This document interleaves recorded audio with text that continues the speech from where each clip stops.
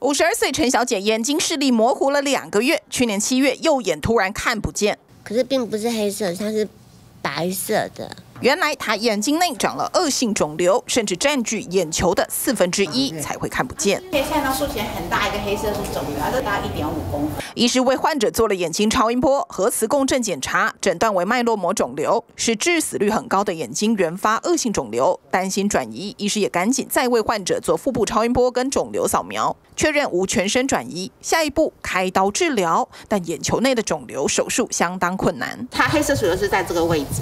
长得很大，拖到眼球里面去，那我们要把它拿掉。我们是需要把巩膜前状切开来，那里面连同一部分的巩膜跟这个肿瘤一起切掉。那像这个病人，他本身肿瘤的这个。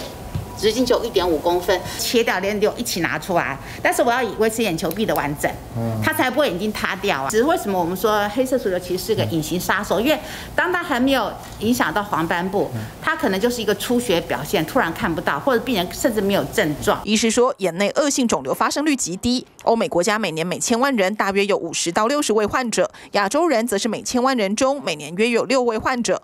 卫福部资料显示，台湾在民国一百一十年就有十七个病例。早期的治疗，眼球摘除对病人日后生活影响大，而现行医生透过精细手术切除肿瘤，保留眼球跟患者一定程度的视力，也重拾患者生活与自信。TVBS 新闻陈淑贤、洪灿台中采访报道。